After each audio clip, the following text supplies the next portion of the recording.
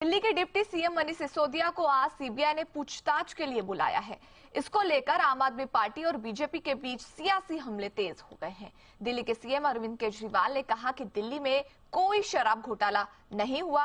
वहीं दूसरी ओर केजरीवाल ने आरोप लगाया है कि दिल्ली में राजनीतिक षड्यंत्र के चलते ये सब हो रहा है।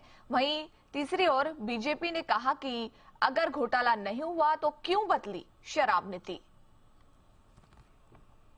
शराब घोटाला नाम की कोई चीज़ नहीं है, कोई घोटाला नहीं हुआ। सबसे अच्छी पॉलिसी देश में, सबसे पारदर्शी पॉलिसी हम लोगों ने बनाई।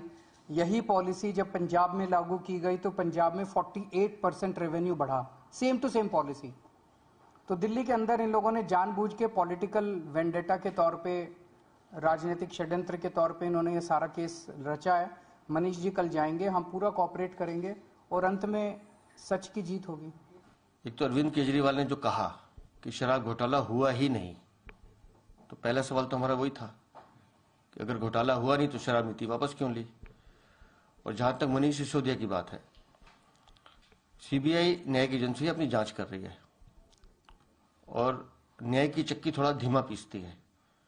मैं उनका ट्वीट देख रहा था कि वो कह रहे हैं कि मैं सीबीआई के साथ जाँच में सहयोग करूँगा। तो मेरा उनसे निवेदन है, आपके माध्यम से कह रहा हूँ, एक बार कॉपरेट ना करके देखें।